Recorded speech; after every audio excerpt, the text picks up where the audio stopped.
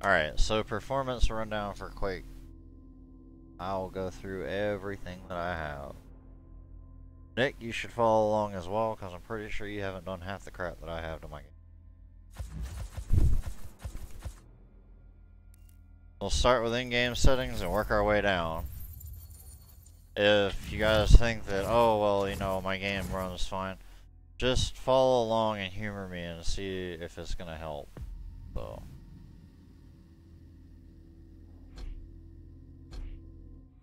Alright, starting with in-game settings.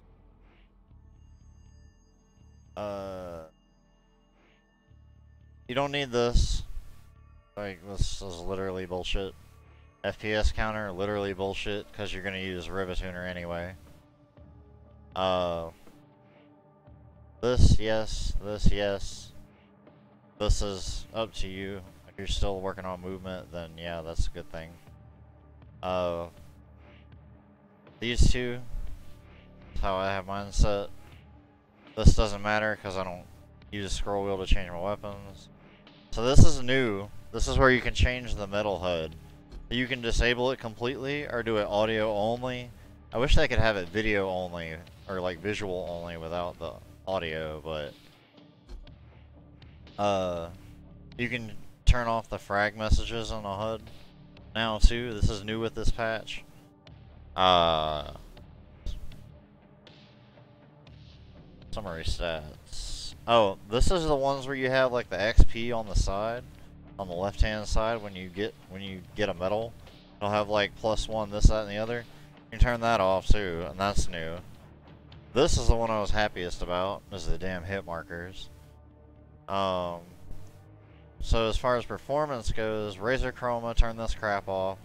Gore doesn't affect it either way, that's up to you. Going over to video settings. Just like this. Make sure it's full screen, not borderless windowed. Borderless windowed causes input lag. Make sure you select your video card. Everything on low except for textures on ultra if you have a 970 or higher. Anti-aliasing medium because it makes people not jerk left right when the AD strafe. It's smoother so it's easier to track. FPS limit. Oh. That should not have been on. Think the uh, patch for that shit.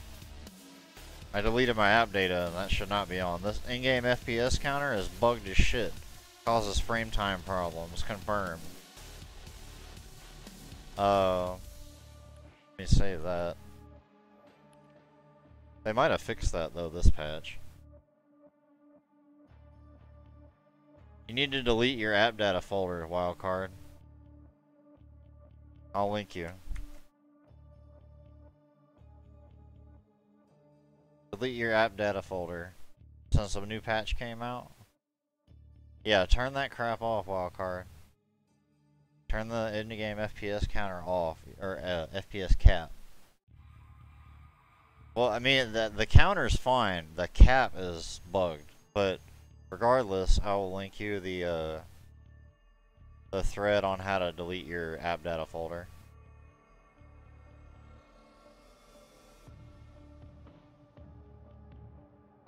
So, since the new patch came out, I highly recommend anybody who hasn't done so already to delete your app data folder. This actually does work, and it will help. Um, Going back into the game though. Do not use HRTF yet. I don't know if this is fixed or not, but it caused a lot of problems with people the last time it was enabled. I'm not trying it until I get confirmation from somebody. That's just personal. You can give it a go if you want to, but I wouldn't. Now for the next part, uh, I need to show my desktop for a second, so hold on.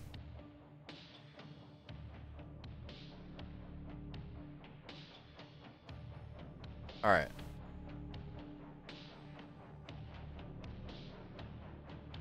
So, the next part you want to check is your actual Windows settings, and that's going to be here. I have Windows 10 settings, system, power and sleep, additional power settings, and make sure this is set to high performance. Optimized enough so it makes your computer run in idle mode. Hey, Seegmemer, what's going on? Everybody's just joining and we're doing a performance rundown for Quake Champions because some of my viewers were having problems with their game. So, I'm right in the middle of it if you want to follow along. Uh, as I was saying though, make sure you go to your power settings and select high performance. This is making a big difference because Quake Champions is forcing your CPU to get throttled if you have it on balance. Make sure this is set here. This, very important. Uh, moving on from that, any kind of hardware acceleration you have, any at all, disable Discord hardware acceleration, Firefox hardware acceleration, Google Chrome, Steam, Spotify, whatever you run, turn all that crap off. All of it eats resources. Kill it with fire. So, there's that. Uh...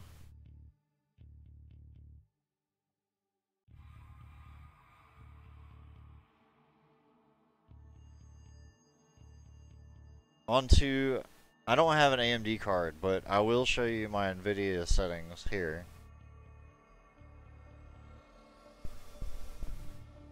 This actually means a lot.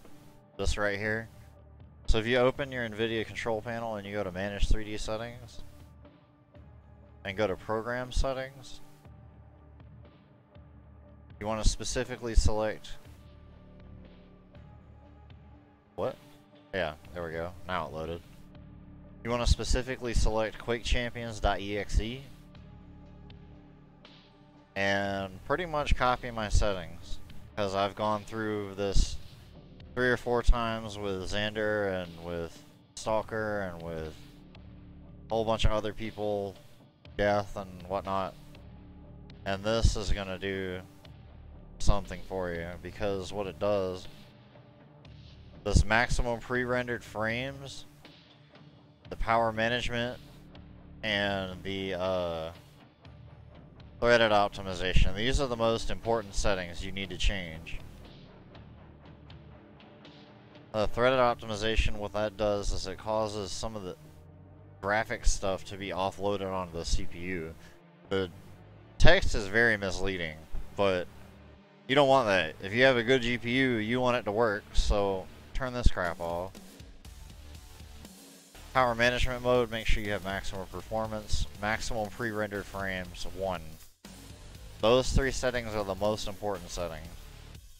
The rest of the stuff I'll scroll through somewhat slowly so you can see.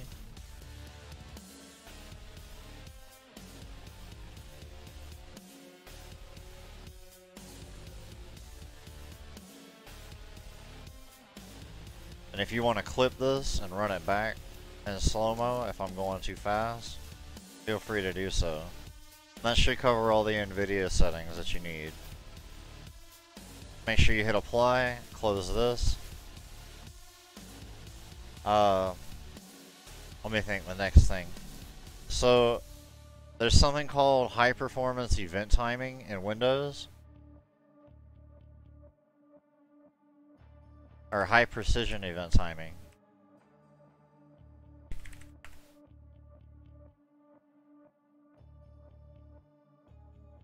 So HPET, what this does is an old, it's an old leftover crap from, pre, you know, uh, single core, dual core processors.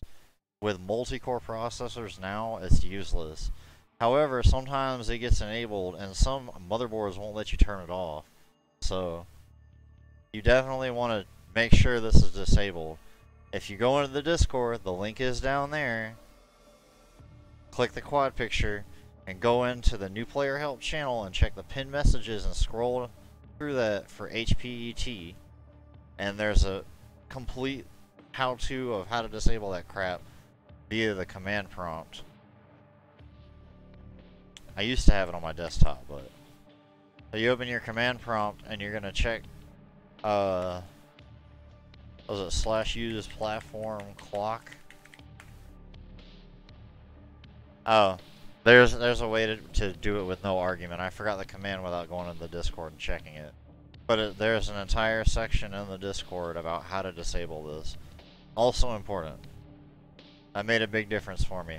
The last thing I want to talk about is Nagle's algorithm. So what I'm going to do, I'm going to show you uh, this guide. This guide has a whole bunch of stuff, and I will link it for you. This guide is going to show you something that's going to fix your netcode problems. It helped me a lot. It depends on the person and what internet service provider and all that. You go to Nagle's algorithm right here. Number 14. Disable this. Nagle's algorithm is some bullshit holdover from back when everybody had dial-up. And basically what it does is it makes it so that it has to send, it only checks less packets. So, if you disable it, it will check as often as possible, which is what you want for your games.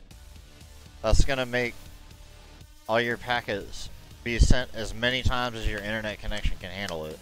So if you have broadband, there's no reason for you to have this on. None whatsoever. So, everything in that Mike Martin's guide deleting the app data folder, NVIDIA settings, uh, that, and then uh, Yakumo's thread is also linked in the Mike Martin's guide.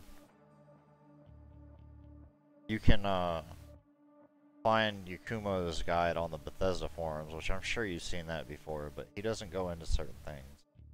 So if you combine that with this, with the other stuff, it's going to help all your stuff. Ignore the picmip it doesn't help with performance, and ignore the colorblind support because, I mean, if you're not colorblind, you don't. Um.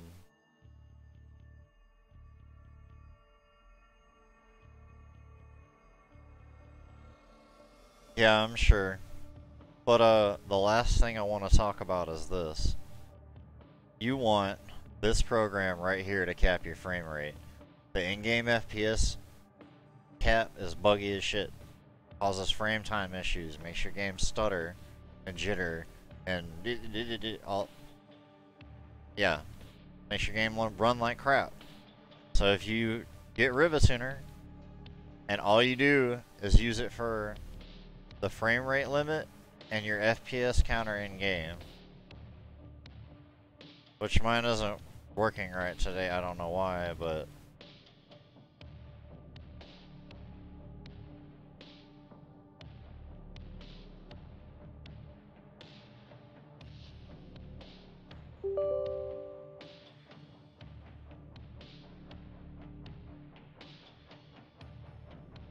I would highly recommend that you cap your frame rate in this game.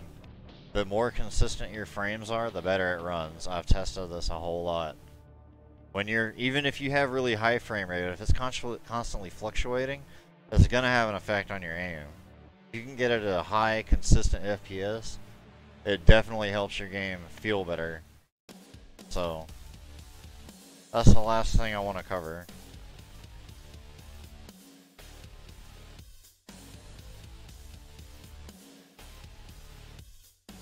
I have to run 125 because while I've been streaming since the gore patch, it doesn't uh, let me run 144 locked while streaming anymore.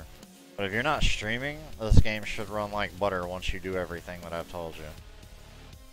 So I hope all that will help everybody. If you haven't done certain things, definitely worth looking into.